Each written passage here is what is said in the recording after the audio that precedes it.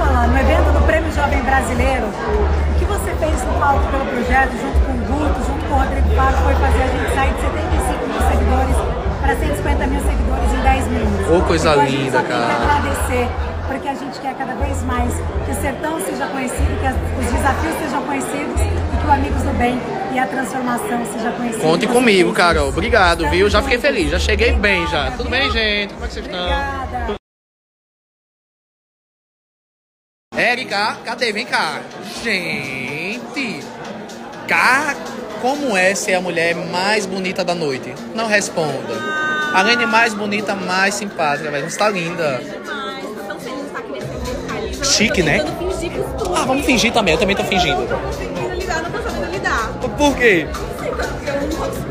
Ah. a gente finge, né? Mas você é do bem, que massa, velho. Vamos, vamos beber? Bora beber. Vamos beber de certeza? Bora beber, vai ficar bem. É, vou ficar bem louco.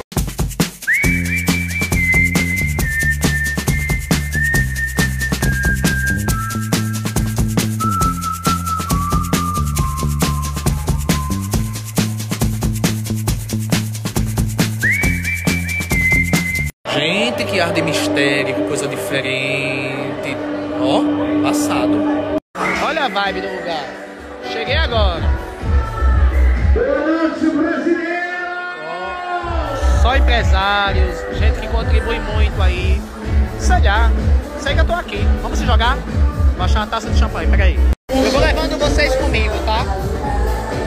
A gente vai se achando. Tá, quando eu, a gente tava esquiando em Samoritz ano passado, Na Suíça. na Suíça, em Samoritz. E eu fui tomar esse chocolate quente num- numa barraquinha, numa daquelas praças, e ele disse, olha, veio um rapaz, você é de onde? Eu digo, do Brasil. Ele disse, olha, veio um rapaz aqui, chamado Carlinhos Maia, você conhece? Eu te conheço, claro. Ele fez um story tomando meu chocolate. Eu achei normal, uma pessoa normal. Ele saiu, deu assim uns 15 minutos, começou a encher, encheu minha banca de gente. Eu nunca vi aquilo. Isso- é um poder muito grande. Isso é verdade, vocês lembram lá, né? Isso aqui é o doutor, doutor Márcio, cirurgião, cirurgião lá de Fortaleza. Isso é verdade que ele tá me dizendo, e esse cara, eu acho que ele era, ou ele, ele é português, é uma coisa assim. Era. Aí começou aí muita gente de Portugal, eu lembro disso.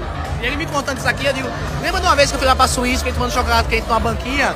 Aí ele disse que bombou. Verdade, foi verdade, doutor. É. me embriagando um pouquinho. Não, tô não, tô não. Ainda não me deu vontade de beber real, não. Vou começar a beber. Ó, o funk dos anos 1970. Olhar de diamante. Não vim de gravata. Queria mostrar meu anjinho.